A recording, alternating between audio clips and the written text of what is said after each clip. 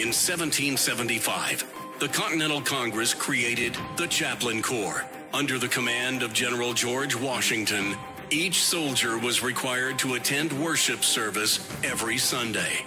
While other armies advanced on their feet, Washington's troops advanced on their knees. It's time for the Chaplain's Report with Caleb Colquitt on tactics. Chaplain's Report today, we continue our series in the book of Daniel. And there's a couple things that you do need to know and kind of set the stage because I encourage you to read the entire fourth chapter of Daniel because it really is interesting and, and where he's talking about the different uh, symbolism here in Nebuchadnezzar's dream. But suffice it to say, we're just going to give a quick summary here to bring you up to speed and so you can really understand the lesson and the moral of the story and kind of wrap it up in a nice little bow. So, Nebuchadnezzar is having this dream that you'll remember we talked about in our last lesson about Daniel, and he needs it interpreted. And he goes to his different magicians, and they can't interpret it. And he goes to Daniel because he knows Daniel will be able to interpret it. And of course, Daniel does, but he's a little hesitant to do so. Because when he hears the dream, he knows, and you'll remember this was the topic of our last conversation on this matter, he knows that this is unfavorable news. This is news that the king is not going to be happy to hear. He's not going to like it. And in an era where killing the messenger was not a thing that was frowned upon, you can see why Daniel would be a little bit nervous about trying to tell the king that something really bad is going to happen to him. Nonetheless, he has enough respect for the truth and enough respect for God to tell the king anyway. And so, this dream that Nebuchadnezzar has it's of a large tree, and the way it describes it is that there are birds and animals living there, that it provides sustenance to others, that it bears fruit. And so this is a great and powerful tree that stretches all the way into the heavens. And then all of a sudden, there is this angelic messenger that comes down from heaven. And this angelic messenger commands that the tree be chopped down. He says, Leave the stump and put some iron around the stump, but the tree is going to be chopped down this great, powerful tree that is majestic and respected, this tree is no longer going to be here because it's going to be hewn down. And the reason that that is significant for Daniel is because he knows the interpretation of this is not going to go well for Nebuchadnezzar. Because the thing is, he realizes Nebuchadnezzar is the tree. So imagine you're put in that situation. Let's say it was your boss, but just imagine your boss also has the power to kill you instead of fire you if they really want to. And you have to tell him that he's going to be knocked off his high horse and it's going to happen pretty soon and nothing's going to be the same afterward. You can imagine how intimidating that would be to have to be the bearer of that message. Yet, yet Daniel decides to do this, and we'll look at his response and his interpretation of the dream in Daniel 4, 24 through 27, where he says, This is the interpretation, O king, and this is the decree of the Most High, which has come upon my lord the king, that you be driven away from mankind, and your dwelling place be with the beasts of the field, and you will be given grass to eat like cattle, and be drenched with the dew of heaven. And seven periods of time will pass over you, until you recognize that the Most High is ruler over the realm of mankind, and bestows on it whomever he wishes. And in verse 26, and in that it was commanded to leave the stump with the roots of the tree, your kingdom will be assured to you after you recognize that it is heaven that rules. Therefore, O king, may my advice be pleasing to you. Break away now from your sins by doing righteousness, from your iniquities by showing mercy to the poor in case there may be a prolonging of your prosperity. The attitude that we see in Daniel and the warning that he gives is not something that should be surprising to anyone. And the reason that I say that is because this is a message that the prophets have been giving for a very long time. You look at any of the major or minor prophets in the Old Testament, you'll notice a recurring theme. God is upset, you have been doing something wrong, his judgment is coming.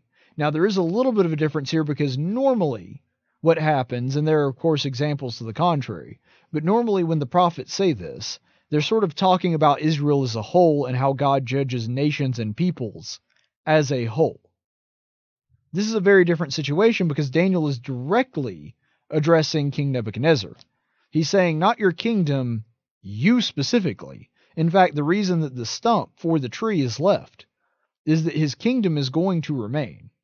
That the remnants of his kingdom are still going to exist even after he is driven away from mankind in this way, in the way that Daniel is predicting. But nonetheless, Nebuchadnezzar is not going to be there or at least not in the sense that he is right now. And so, when this great thing happens, when God takes Nebuchadnezzar down a peg because he's not doing the things that he should, when that happens, his kingdom is going to be left behind. But Daniel, because I think he does have some genuine concern for Nebuchadnezzar, and because he knows and has been with God long enough to know that God does want people to repent and do good. He's not just somebody that takes great pleasure in punishing people. When God punishes somebody, it's because he's run out of options. When God punishes somebody, it's because they can no longer operate without some kind of justice taking place. Because God often is incredibly patient, long suffering, and gives us plenty of time to repent. This is a characteristic of God that goes Old New Testament it's something that is so ingrained into his his demeanor, his character, all of it is a part of God that he is merciful and long suffering for as long as he can be up until it is no longer profitable. And I think that that reveals a very real truth about Nebuchadnezzar and worldly powers and maybe even individuals in particular. That sometimes God gives even people that are doing the wrong thing power to serve his purposes. This is something that again is true throughout the entirety of the Old Testament. The Assyrians got away with a lot, but they didn't get away with a lot because they were doing what God wanted them to. They got away with a lot because they were punishing other wicked nations, that God was using them as an instrument to go and punish them and hopefully turn them back to God and back to doing the right thing. And so, even though the Assyrians themselves weren't doing the right thing, he used them as a way to get in touch with and to wake up the people of Israel and with surrounding nations. He did the same thing with Babylon, he did the same thing with Egypt. This is a theme that recurs over and over again in the Old Testament that God uses even the worst people, even very wicked and evil people, to accomplish his purpose. To let people know that you need to repent and you need to turn away from your sin, or else you're going to fall victim to it yet again. And it seems that God is dealing with Nebuchadnezzar in the same way, and thank God that he deals with us that way as well. That he leaves time for repentance. That even when we're allowed to go unpunished for a time, the reason for that is not that God doesn't care. And the reason for that is not that God is uninterested in our lives or doesn't care if we sin. He may care if other people sins, but he's not all that interested in us. No, every soul is important to God, including Daniel, including Nebuchadnezzar. And because of that, and because Nebuchadnezzar is not living the way that he's supposed to, God is sending this message to him through a dream and even gives him Daniel to interpret that dream. So he's giving him the line of communication and the way to read that line of communication. And he's doing so specifically because he knows that Daniel is going to deliver this message. The message of, if you want to avoid this terrible fate that is going to happen, you need to repent.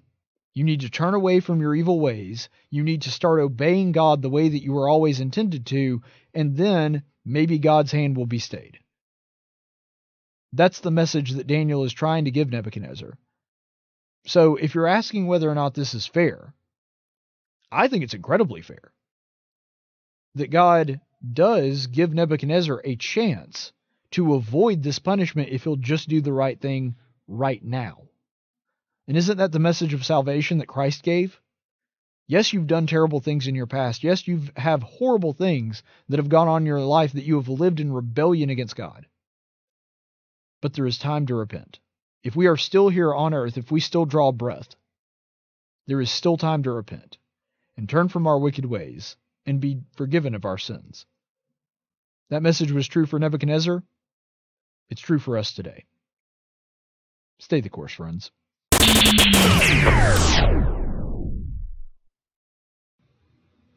Normally, this is the part of the video where you would expect me to ask you to like the video and subscribe to the channel, but the truth is, I don't really care whether you do or not.